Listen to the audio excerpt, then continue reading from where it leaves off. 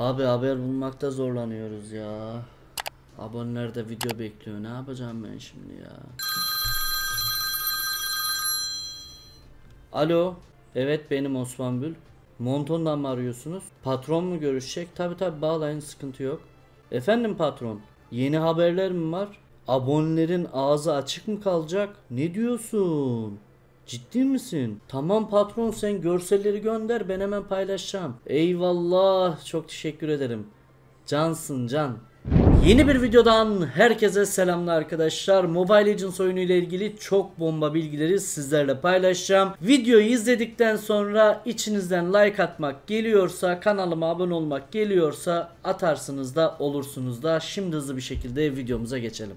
Yakın zaman içerisinde Aurora kahramanı revamplanıyor, yenilenecek arkadaşlar. Kahramanımızın normal halinden tutun bütün kostümlerine kadar her şey yenilenecek. Hem görüntüsü hem savaş alanı ulti skill efektleri bütün her şey yenileniyor arkadaşlar. Aurora severlere hayırlı olsun. Aurora ile ilgili şöyle bir bilgi daha vermek istiyorum. Aurora'nın revampı orijinal sunuculara geldiğinde Aurora'nın normal kostümünden tutun diğer kostümlerine kadar bütün hepsinin markette indirimli satışa çıkacağı ile ilgili haberlerde söz konusu. İlerleyen süreçlerde detaylı bilgileri vereceğim.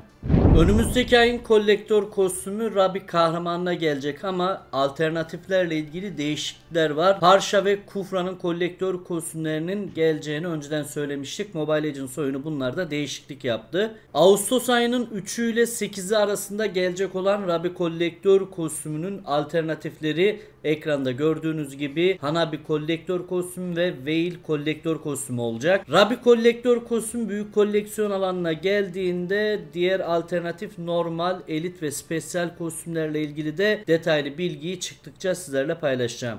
M5 ile ilgili efsane haberlerim olacak sizlere. Şu an ekranın üst kısmında M1'den M4'e kadar gelen kostümleri görüyorsunuz. Alt kısımda ise şampiyonların tercihlerini görüyorsunuz. Bizim tarafımızdan yapılan oylamalar sonucunda M5 kostümünün 110 kahramanına geleceği kararlaştırıldı arkadaşlar. M5 etkinliğine de çok az kaldı ve tasarımlar gitgide çıkmaya başladı. Detaylara geçelim. Yuzong M5 kostümünün genel tasarımları bu şekilde olacak. Kostümün çerçevesi, geçiş efektleri ve ana temaların rengi böyle kırmızı, bordo, siyahımsı renklerde olacak arkadaşlar. Logo da büyük ihtimalle kırmızımsı renklerde olacak. Bu detayları şimdilik sizlerle paylaşıyorum. Diğer detaylara gelecek olursak biliyorsunuz geçtiğimiz M4 etkinliğinde iki tane kostüm vardı. Bir tanesi Pakyuto'nun bir tanesi de Alus'un kostümüydü. Kimi kahramanına böyle bir kostüm geleceğini önceden söylemiştim. Bu kostümünde M5 mağazasında ya mağazada ya da level alanında olacağını sizlere söyleyeyim. Eğer mağazada olacaksa çok çok çok uygun bir fiyata eğer level kısmında olacaksa bedavadan kiminin bu kostümünü alacağız. M5 ile ilgili diğer haberlerden de bahsetmek istiyorum. Geçtiğimiz M4 etkinliğine baktığımız zaman mağazasında M1 ve M2 ile ilgili bütün kostümleri görmüştük. Hatta sahip olma imkanımız da vardı. Mobile Legends oyunu M5 etkinliğine Roger'ı da koyacak. Form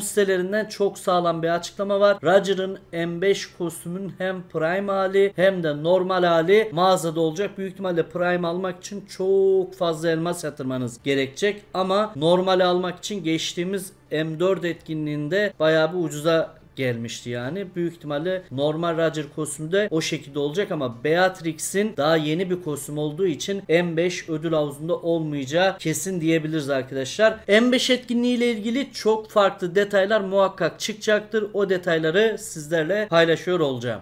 Sıradaki haberim bedava kostümle alakalı olacak. Biliyorsunuz Mobile Legends oyunu kuruluş yıl dönümüne özel böyle etkinlikler getiriyordu. Mobile Legends için özel günlerle ilgili etkinlikler getiriyordu. Bu etkinliklerden Mia'yı aldık, Harley'i aldık. Sıradaki çok büyük bir ihtimalle sağlam kaynaklardan aldığım bilgilerle söylüyorum. Johnson kahramanı olacak arkadaşlar. Dünkü videomda bundan bahsetmiştim ama farklı detaylara ulaşınca bir de kesinleşti gibi olunca sizlerle paylaşmak istedim. Diğer bir detay da şu şu. Mobile Legends oyunun Next projesi kapsamında yeni etkinliği getirdiğinde o etkinliğin ödül havuzunda Johnson'ı bedava alacağız. İşte çerçeveler alacağız falan filan derken çok farklı değerli ödülleri de o etkinliğin ödül havuzuna ekleyeceği ile ilgili çok sağlam duyumlar aldım. Kaynaklarda öyle yazıyordu. O yüzden o dönemde aktif olmaya kesinlikle ve kesinlikle özen gösterin arkadaşlar. Belki güzel şeyler dağıtır oyun.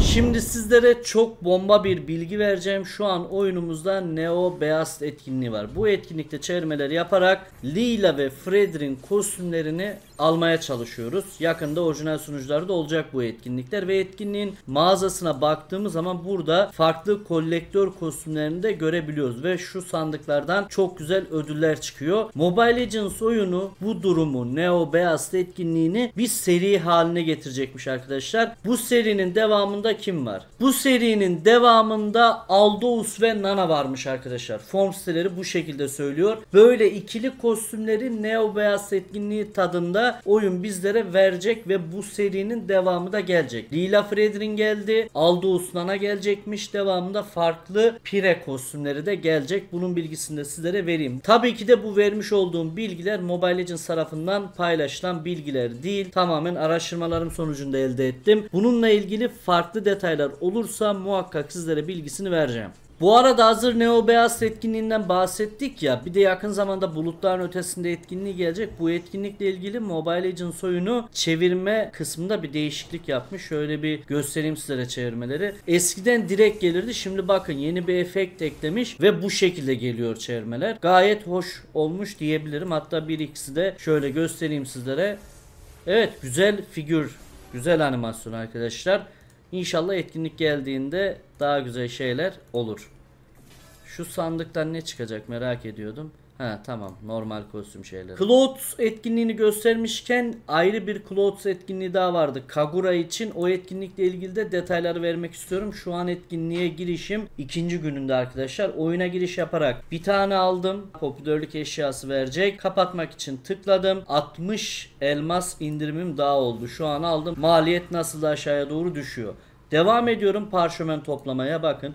Şimdi iki gün boyunca girdiğim için böyle bir alan daha geldi. Bunları siz okursunuz. Tıklıyorum, tıklıyorum. Şu eşyayı aldım, efekti ve 100 puan daha kostümün maliyeti aşağı düşüyor gördüğünüz gibi. Totalde 260 elmas değerinde bir indirimim birikmiş oluyor ve buradaki şu sağ taraftaki görevleri yaptığınız zaman totalde 840 maksimum 840'lık bir indirim olacak. 840 elmaslık. Buradan alacağınız 840 elmaslık indirimle birlikte bir de şu sol alt tarafta maksimum 448 antik kalıntı alacağınız yani elmas indirimi alacağınız bir sandık da olacak. O sandığı açtığınızda da buradan bayağı bir indirim alacaksınız. Yani uzun lafın kısası bu dediklerimi yaparak Kagura'nın şu güzel kostümünü indirimli bir şekilde alabileceksiniz. Bu detayları da sizlere vermiş olduk ve totalde üst tarafa baktığınız zaman da biriktirmiş olduğunuz antik kalıntıları görüyorsunuz arkadaşlar. Hazır test sunucusundayken Chu etkinliği ile ilgili de bilgi vermek istiyorum. Chu etkinliğindeki bütün görevleri tamamladığınız zaman oyun otomatik olarak yakalanmış olduğunuz indirimin elmas karşılığı ne kadar oldu hepsini size gösterecek ve totalde kaç elmastan kaç elmasa kostümü düşürdüğünüzü size gösterecek. Şuradaki mesajı okumaya dikkat edersiniz arkadaşlar ve şu alt kısmından satın al butonuna basarak direkt Chu'nun Eko kostümünü alabileceksiniz. Görsellerin estes olması sizi yanıltmasın olmasın. Etkinlik geldiğinde Estes yerinde tamamen Chu'yu göreceksiniz.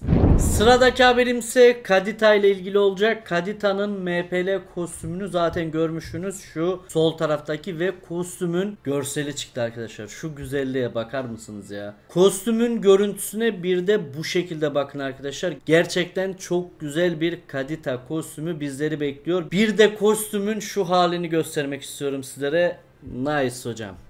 Mükemmel.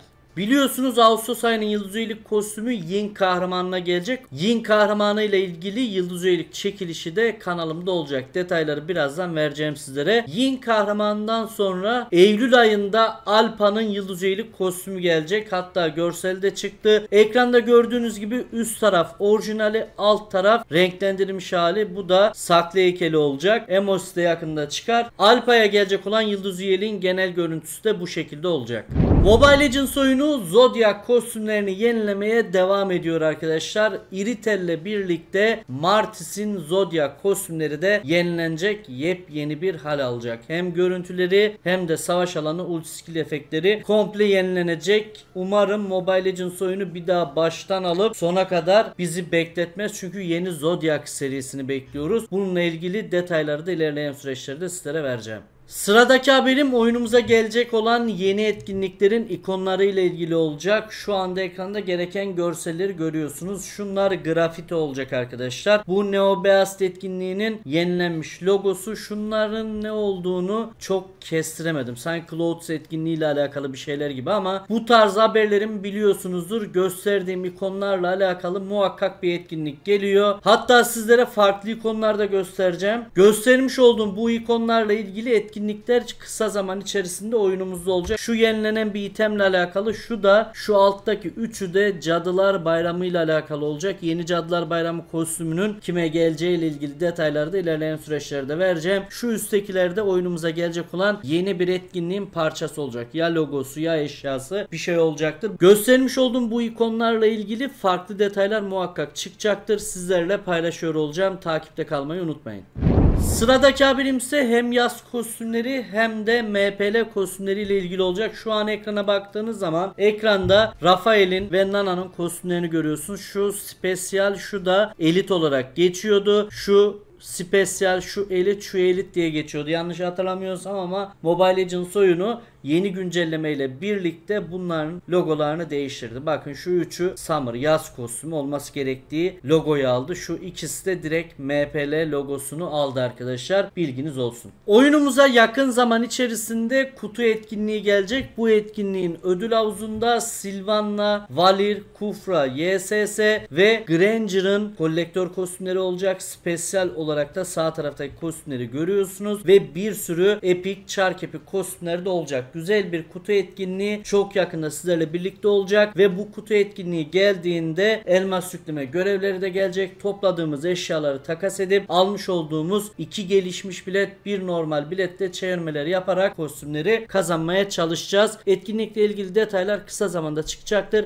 Oyunumuza yeni gelecek olan kostümlerle ilgili detaylı bilgi vermek istiyorum. Kimi kahramanın bu kostümünün M5 ödül havuzunda olacağını zaten söylemiştim. Herit kahramanı için Christmas yeni kostümü gelecek. Valir kahramanı için kostüm gelecek. Yuzong için M5 normal ve M5 Prime kostümü gelecek. Julian için Yıldız üyelik kostümü gelecek ama ilerleyen süreçlerde Yin kahramanı için Ağustos ayında zaten bir yıldız üyelik gelecek. Martis kahramanı için de yeni bir kostüm gelecek. Nolan kahramanı için normal kostüm gelecek ama Nolan'a en az bir ay daha var. Alpa yıldız üyeliğinden bahsetmiştim ve Feni kahramanı için de güzel bir kostüm yakın zamanda sizlerle birlikte olacak. Arkadaşlar sizlere farklı bir bilgi vermek istiyorum. Biliyorsunuz Mobile Legends oyunu böyle yemekli memekli etkinliği her yıl yapıyor ve bu etkinliklerde eskiden baktığımız zaman kat kat krep yapıyorduk. Daha sonrasından bu promosyon elması topladığımız farklı bir popülerlik yarışmasına döndü. Yani uzun lafın kısası Mobile Legends oyunu yakın zaman içerisinde yeni bir etkinlik getirecek ve bunun için bizlerle anket paylaştı. Bu anket doğrultusunda etkinlik dizayn edilecek. Çok büyük bir ihtimalle de bu etkinlikle birlikte promosyon elması yarışması filan da olacaktır. İlerleyen süreçlerde detaylar çıktıkça sizlere muhakkak bilgisini vereceğim. Sizlerle bir bilgi daha paylaşmak istiyorum arkadaşlar. Mobile Legends oyununun yaptığı anketlerde neden bizlere fikir danışılmadığı ile alakalı birçok sistemde bulunuyordu. Aslında Mobile Legends oyunu oyun içi posta yoluyla bu tarz anketleri bizlere yansıtıyor. Çoğunu yansıtıyor. Buradaki anketleri 2 dakikanızı ayırıp burada genel değerlendirme yapabilirsiniz. Mesela Kerry'nin kostümüyle alakalı neler hoşunuza gidiyor ya da gitmiyor. Burada gereken değerlendirmeleri yapıp anket tamamlayacaksınız ve Mobile Legends oyunu buna göre kostümü yenileyecek. Yani sizin burada yapmış olduğunuz tercihleriniz muhakkak göz önünde bulundurulacaktır.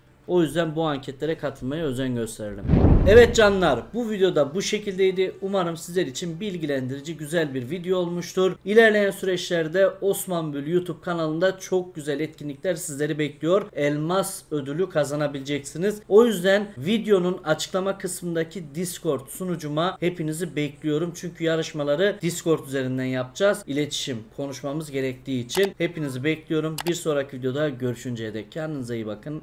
Hoşçakalın.